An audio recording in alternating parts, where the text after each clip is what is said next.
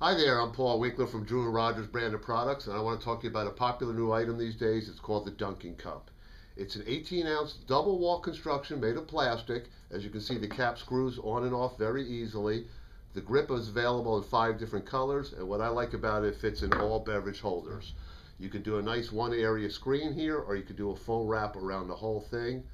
I suggest you check out this item and other neat new items we have on dandrbrandedproducts.com.